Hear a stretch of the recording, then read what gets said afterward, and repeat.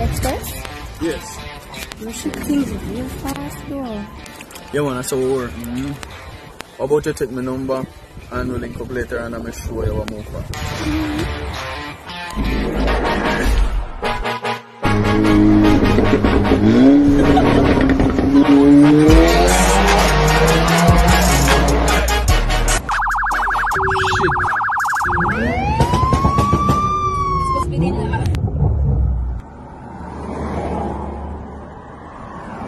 Man, as my boss.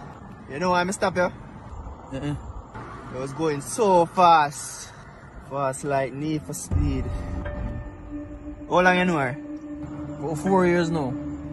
Four years, see I move my boss. You know some wife though. Jesus Christ. Yo, come out.